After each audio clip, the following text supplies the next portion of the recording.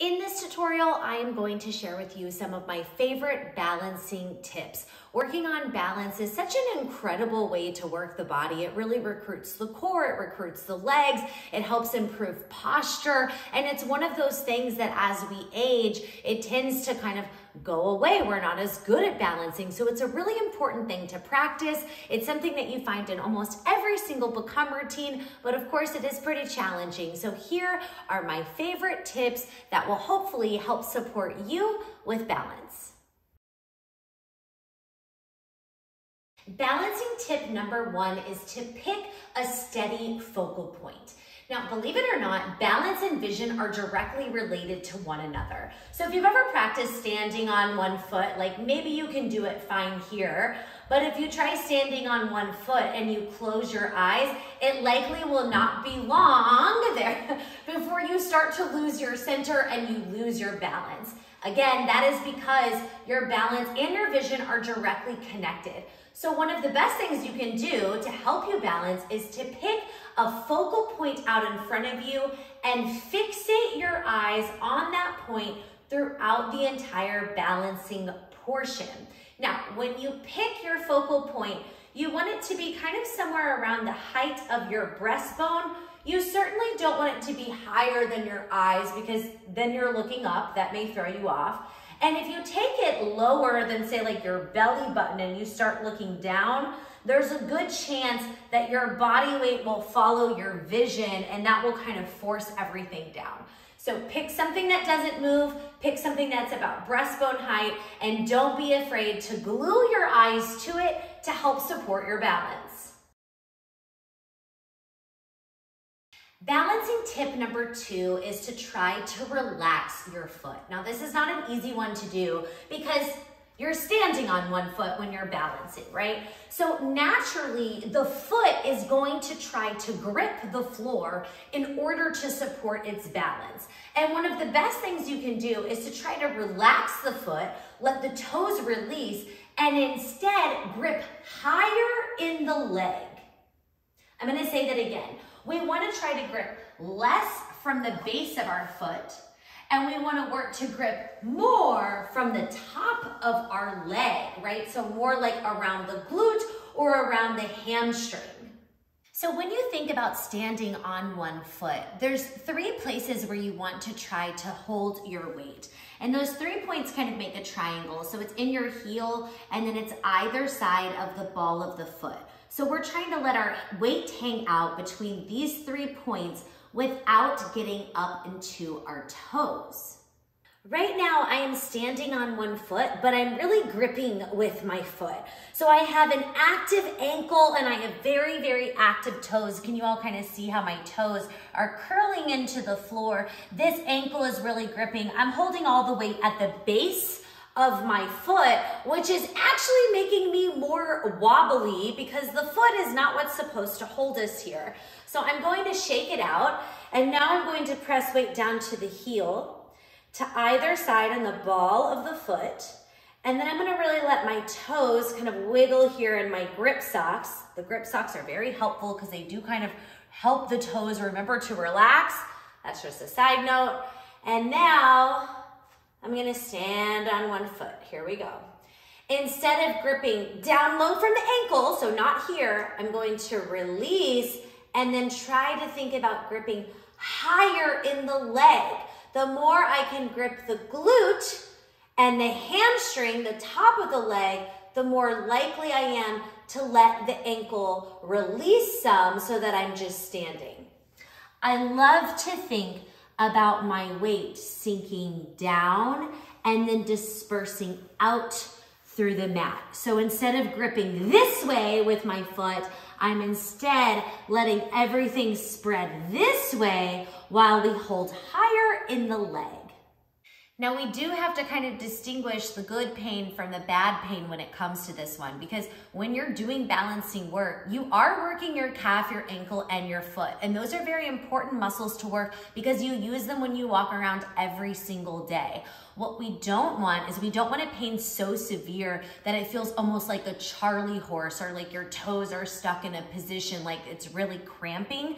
We don't want that, but having some sensation in the foot or in the calf is totally okay as long as you're keeping those toes relaxed and you're really working to evenly disperse the weight throughout the foot and into the floor. Tip number three is probably my favorite tip and also the one that I think helped me with my balance the most. So this tip is all, I'm gonna call it freeze, okay? Stop moving. So a lot of times what I see is clients will be trying, you know, to do some sort of balancing. They'll start to lose their balance and they just try to keep going in order to keep up with the series. And the thing is, is when you're balancing, like you have to be connected to your center first before you can tack on movement. So when you get to a point that you're balancing and you start to lose your balance, you gotta stop, right? Don't continue on with this series. Instead, freeze, then try to regain and find your center once again. Stay here for as long as you need, and then join back into the series. Yeah? So again, when you're moving, when you're doing something, if you start to find that you lose your balance, pause, freeze it here. See if you can recover. Can you save it? Drive everything back into center. Hang out there until you feel steady, you feel stable, and then continue on with the rest of the motion. Tip number four is all about playing a little mind game with yourself. So you're basically gonna play make-believe and you're going to pretend that you have something to hold on to. This one weirdly works like a charm. When you are struggling with your balance, just imagine a chair or a wall beside you. Pretend hold on to it and it can really, really help steady you. Another one that I like to do is when I'm standing up from a lunge, right? So I'm lifting up to balance. I'll often pretend like there's a bar over my head and I'll grab the bar at the top of my move to help steady and center me in the exercise. Number five is to think about getting really long. And this is actually, this is kind of the way that balance works, okay? So what I wanna think about is my foot pressing into the floor, but then the opposite reaction of that is my head lifting up to the ceiling. So the more that I can think about pulling the body apart this way and this way, the more likely I am to balance, to be able to balance, because it's like we've taken a string and we've pulled it taut, right? It has nowhere else to go except straight up and down because that's the direction it's being pulled. Similar thing happens if you were to work to an extension here. Instead of thinking about lifting your foot or dropping your head, no, no, you're gonna think about reaching your head so high up and your toes so long and your stomach and your belly pull away, pull away, pull away so that my head is reaching out here.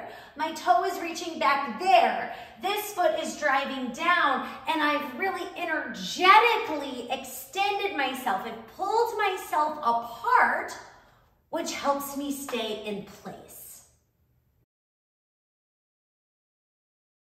My final tip may sound somewhat counterintuitive now that you've just learned all the previous tips, but the, the, the final tip is to do less.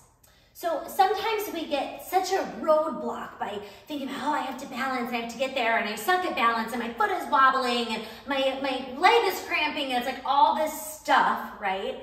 And one of my favorite things to think about is to kind of clear the head and say, I'm just gonna stand. Where is it? Where's that center? There it is. Just stand. Get a little more calm. Focus your eyes on one point. Try to relax your toes. Grip through the top of the leg. Get longer, get taller, and then just stand.